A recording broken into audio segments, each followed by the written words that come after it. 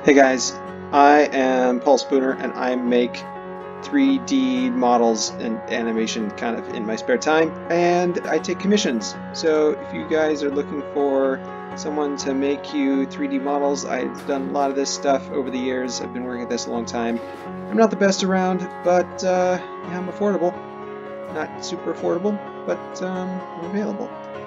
Right now, I'm working on stuff since I finished all my commission work working on in my free time extending the tetrahedral planetoid by M.C. Escher. Uh, so, I don't know if anybody's familiar with this, but years and years ago, I, uh, I made a 3D model. This is the part that you can see from his woodcut. And so I made a 3D model of all this stuff. And now I'm working on the sides that you can't see.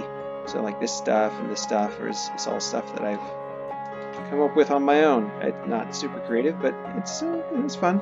It's a fun little project. So I'm hoping to finish up these sides. If you're interested in uh, supporting my work, you can support me on Patreon. Where's my Patreon? Here it is.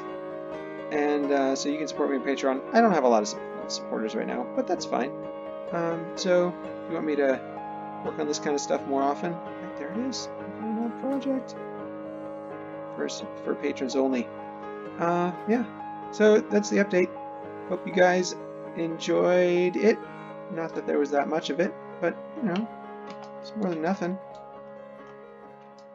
Have a good day.